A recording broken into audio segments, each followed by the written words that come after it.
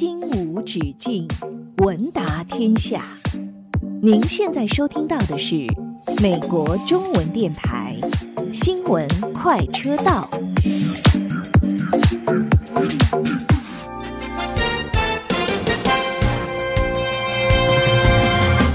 听众朋友，大家好，今天是二零二四年五月十三号，星期一，我是主持人肖芳，欢迎收听正在直播的新闻快车道节目。今天节目主要内容有：加州财年迄今收入低于预期；旧金山市又增添新全景公园；特朗普封口费案，明星证人科恩出庭作证；美国汽车协会发预警，国商日长周末出行人数料将创纪录。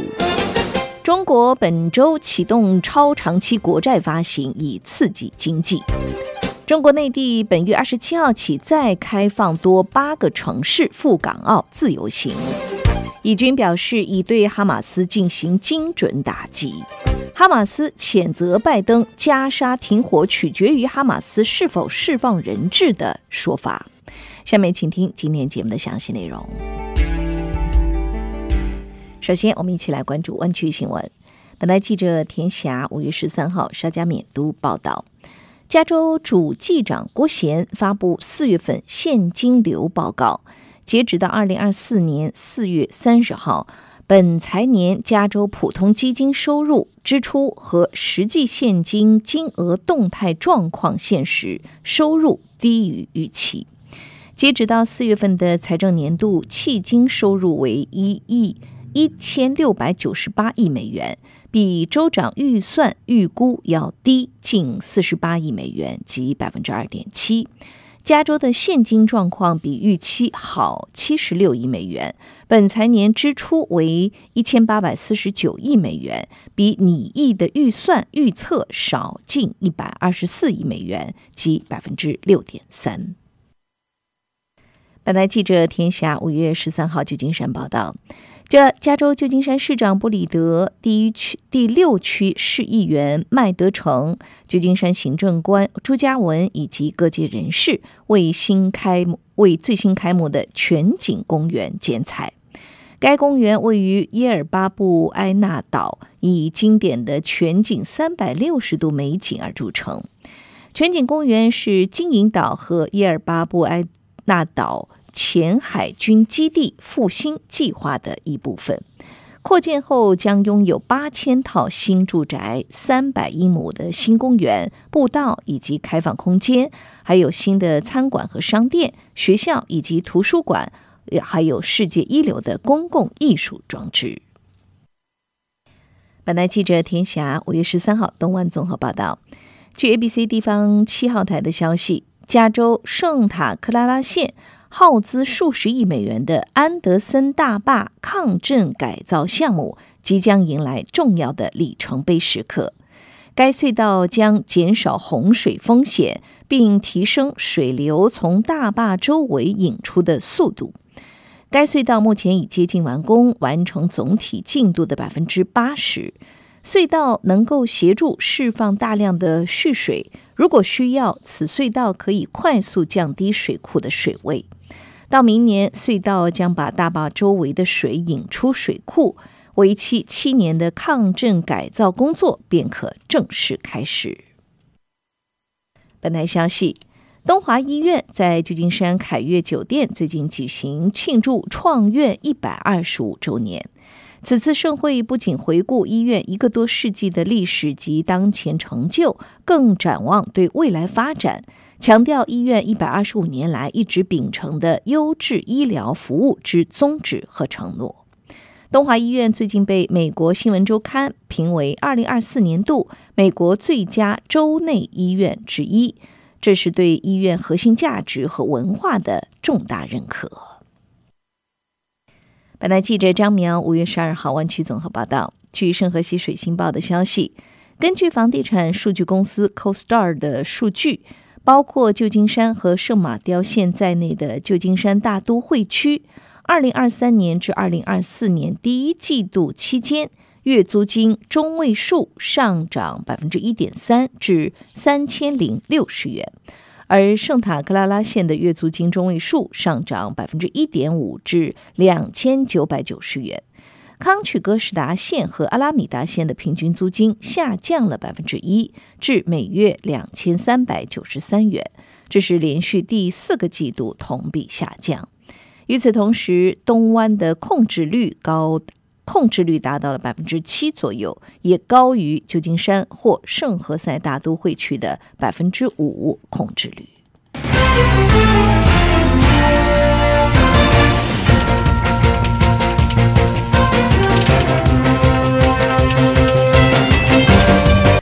以下来关注美国新闻。彭博社周一报道称，财政部长耶伦表示，他希望中国不要对华盛顿为保护其关键新兴产业所采取的措施进行重大报复。耶伦拒绝证实拜登政府将对中国出口新三样：电动汽车、锂电池和太阳能电池等中国商品征收新的关税。但他在周一的采访中称，应当针对我们的担忧来采取措施，而不是一概而论的解决问题。纽约联邦储备银行周一公布的最新调查结果显示，受到房价、燃料和能源价格上涨的影响，四月份消费者上调了对近期和长期物价上涨的预期。报告指出，由于受调查者对联储会短期内实现百分之二通胀目标的信心不足，四月份消费者对一年内物价上涨的预期上升到了百分之三点三，比三月份高出零点三个百分点，是二零二三年十一月以来的最高水平。消费者对五年内物价上涨的预期升至百分之二点八。较三月份上升了零点二个百分点。周一，前总统特朗普封口费一案如火如荼的进行中。他曾经最忠诚的副手之一科恩，在周一的庭审现场中承认了他曾替特朗普向艳星丹尼尔斯支付十三万元的事实。科恩作证时称。把他的角色描述为特朗普的前客是公平的，因为他会搞定他想要的任何东西。特朗普的辩护律师则从庭审一开始就攻击科恩的可信度，骂他是不可信赖的骗子。离开法院后的特朗普猛烈抨击了法官胡安莫钦，称封口费一案是一个骗局。美国汽车协会周一发布的报告预测，今年国商日长周末全美开车出行人数将创历史新高，预计全美将有四千三百八十万人离家五十英里或超过五十英里，这高出了新冠疫情之前的水平。出行人数将比去年同期增加百分之四，与二零二。与二零零五年创纪录的四千四百万相差无几，预计会有三百五十万人乘坐飞机出行，另有一百九十万人乘坐其他交通工具出行，比去年同期增加百分之五点六。心无止境，文达天下。您现在收听到的是美国中文电台新闻快车道。欢迎收听新闻快车道，我是主持人肖芳。下面继续关注中国新闻。中国财政部十三号公布今年超长期国债发行安排，期限包括二十年期、三十年期、五十年期，全年合共二十二期。本周五开始发行，最后一期将于十一月十五号发行。另外，周五招标的特别国债属三十年期，每半年派息一次。中国国务院总理李强十三号要求发行并用好超长期特别国债，高质量做好支持国家重大战略实施以及重点领域安全能力建设各项工作。中国国务院当天召开支持两重建设部署动员视频会议，李强表示，要统筹做好今年及未来几年重点任务安排，统筹用好常规及超常规各项政策，更好统筹政府投资及民间投资，更大力度引导民间资本参与两重建设。两重建设是指国家重大战略实施和重点领域安全能力建设。中国国家副主席韩正十三号在北京出席全球贸易投资促进峰会开幕仪式，并致辞。韩正表示，国家主席习近平多次指出，在风险挑战面前，各国应该同舟共济，坚持合作共赢理念。推动世界共同发展，中国将继续扩大高水平对外开放，同各方共享发展红利。据路透社报道，美国和中国将于十四号在日内瓦举行会议，讨论人工智能 AI 问题，强调会谈将讨论人工智能带来的风险，但不会就华府政策进行磋商。官员明确指出，会谈不是促进任何形式的技术合作，也不是在任何问题上进行前沿研究合作。美国的技术保护政策没有商量余地。官员说，中国在民用、军事和国家安全领域快速部署人工智能，损害美国及其盟友的安全。会谈将使华盛顿能够直接表达担忧。报道指出，美国国务院已敦促中国和俄罗斯做出和美国类似的声明，即只有人类而绝非人工智能做出部署核武的决定。香港特区政府十三号热烈欢迎内地公布优化实施约一年的互换通安排。政府发言人表示，特区政府致力深化及扩大内地与香港金融市场互联互通。今日公布的措施是一个月内第二批优化措施，进一步促进两地金融衍生工具市场协同发展。发言人表示，互换通去年五月落实以来，一直运作顺畅，投资者参与持续上升。按月计算的日均成交名义本金，自推出首月增长近三倍，截止上月平均超过一百二十亿元人民币，为投资者提供便利和高效的风险管理工具。经中央政府批准，中国内地本月二十七号起再开放多八个城市赴港澳自由行。有酒店业人士说，这一次政策对香港有很大提振作用，本港酒店有足够承载力应付。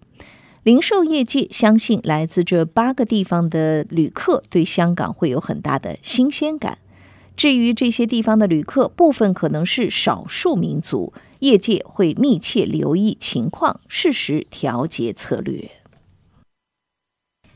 据中国官媒报道。中国国台办十三号表示，民进党当局顽固坚持台独分裂立场，拒不承认九二共识，导致中国台湾地区参与世界卫生大会的基础政治基础不复存在。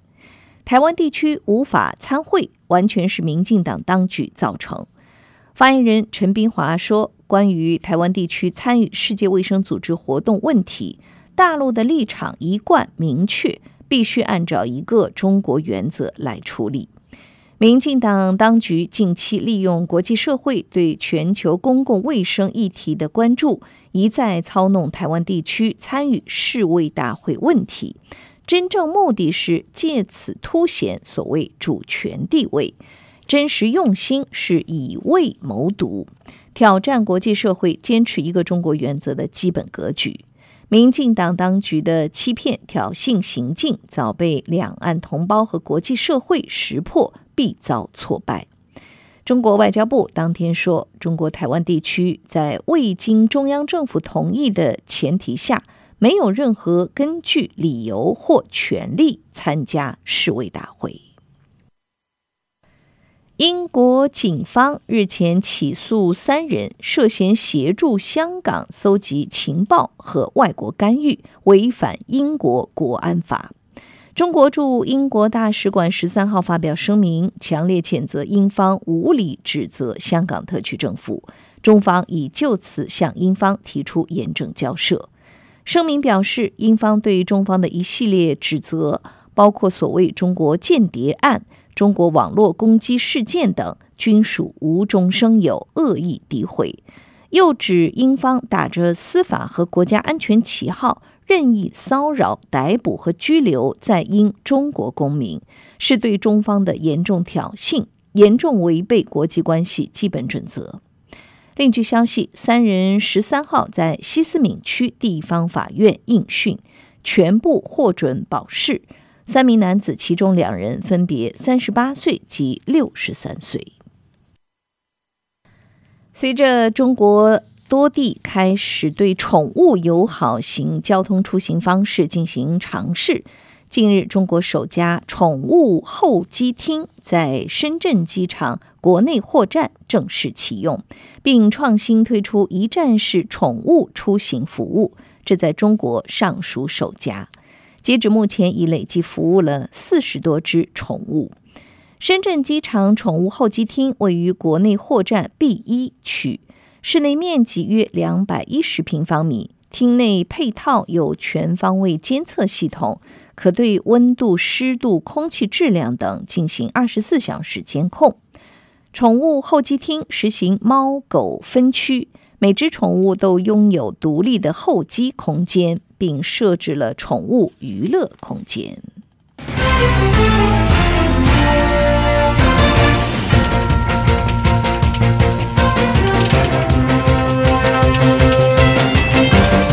以下时间继续来关注国际新闻。以军发言人哈加里十三号表示，以军继续在加沙南部城市拉法对巴勒斯坦武装组织哈马斯进行精准打击，至今已经打死数十名巴勒斯坦武装分子，并发现地道和大量的武器。哈加里又强调，以军致力于实现击败哈马斯，并使以方所有被扣押人员获释的目标。以军又说，星期六晚间和星期日上午，以色列南部城市阿什凯隆接连遭到来自加沙的火箭弹袭击。巴勒斯坦传媒报道，以军继续轰炸加沙多个地区，造成多人死伤和被埋在废墟下。加沙卫生部门说，新一轮以巴冲突爆发以来，以军行动已造成超过三万五千人死亡，另外七万八千人受伤。美国总统拜登日前表示，加沙停火取决于巴勒斯坦武装组织哈马斯是否释放以色列人质。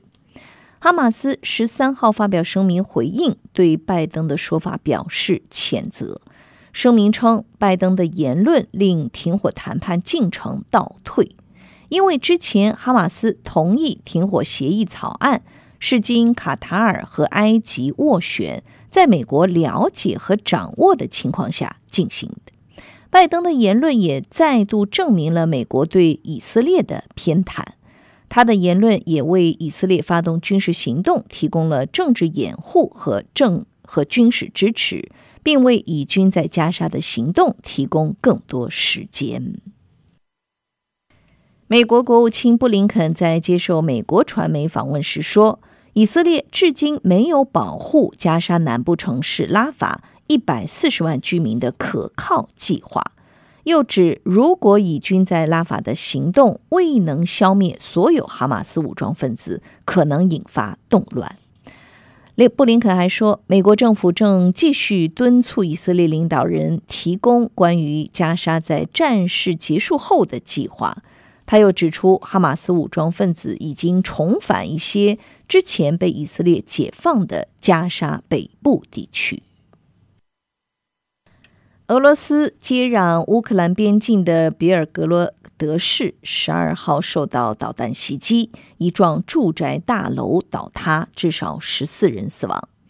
比尔格罗德当天上午发布多次导弹袭击警报，这幢住宅大楼怀疑受波及倒塌。紧急情况部发言人表示，在楼宇的瓦砾中发现多具遗体，救援人员持续在现场搜救。俄罗斯国防部表示，比尔格罗德市遭到乌克兰军方导弹和火箭弹密集攻击，形容这次是针对居民的恐怖主义袭击，涉及至少十二枚导弹，其中一枚战术弹道导弹被击落后，碎片击中了一幢。住宅大楼导致多个楼层倒塌，停泊在周边的十多辆汽车也被毁。俄罗斯外交部表示，乌克兰及其西方支持者是这次袭击的幕后黑手。乌克兰方面暂时未有回应。俄罗斯国防部十二号表示，俄军再在乌克兰哈尔科夫地区占领多四个村庄。又指俄军已深入乌军的防御工事。俄罗斯国防部在之前一天也宣称，在乌克兰哈尔科夫地区占据五个村庄。乌克兰军方说，局势复杂，但乌军正在设法阻止俄军的进一步进攻。哈尔科夫州州长西涅古波夫也说，北部边境几乎所有。北部边境所有地区几乎不分昼夜受到俄军攻击。乌克兰总统泽连斯基十三号在发布晚间视频时表示，哈尔科夫边境的大部分地区正在发生防御战，一些村庄实际上已经变成敌对行动区。他又说，顿涅茨克一些地区的战斗也同样激烈。俄罗斯总统普京十三号签署总统令，任命绍伊古为联邦安全会议秘书，并提名前第一副总理别洛乌索夫为国防部长。绍伊古从二零一二年担任国防部长，被视为普京的长期盟友。克里姆林宫发言人表示，普京希望由绍伊古负责军工事务。有报道认为，这次人事变动为绍伊古提供了一个技术上被视为比国防部长更高级的职位，确保了他的工作连续性和挽回他的面子。至于原联邦安全会议秘书帕特鲁舍夫将调任另一项工作，会在未来几天做出公布。而俄军总参谋长格拉西莫夫会继续留任。另外，包括外长拉夫罗夫等官员就获普京重新提名担任原有职位。新加坡总理李显龙十三号向总统尚达曼提交辞呈。李显龙表示，他与本届政府将于五月十五号正式卸任。后任总理黄循才已接受总统邀请组建政府。他将率领新内阁在五月十五号宣誓就职。根据新内阁名单，黄循才接任总理后会继续管理财政部，现贸工部部长严勇严金勇兼任副总理，并替代黄循才担任新加坡金融管理局主席。黄循才早前表示，李显龙卸任总理后将会留在内阁担任国务资政。现年七十二岁的李显龙，二零零四年八月就任新加坡总理，连任至今。立陶宛大选的首轮结果十三号出炉，无人得票过半。二十六号将举行第二轮决选，由现任总统瑙塞达对决总理席总理席莫尼特。瑙塞达选前抛出驻立陶宛台湾代表处有必有更名必要，引发关切。对邻国俄罗斯的担忧一直主导这次选举。所有主要候选人都赞同，身为北约组织和欧盟成员国的立陶宛应增加国防开支，以应付来自俄国的威胁。今天节目最后时间来关注股市行情，标普五百下跌一点二六点，跌幅百分之零点零二四，报收五千二百二十一点四二点。道琼斯工业指数下跌八十一点三三点，跌幅百分之零点二一，报收三万九千四百三十一点五一点。纳斯达克综合指数上涨四十七点三七点，涨幅百分之零点二九，报收一万六千三百八十八点二四点。以上就是今天的新闻快车道节目，由肖芳编辑播报，感谢收听。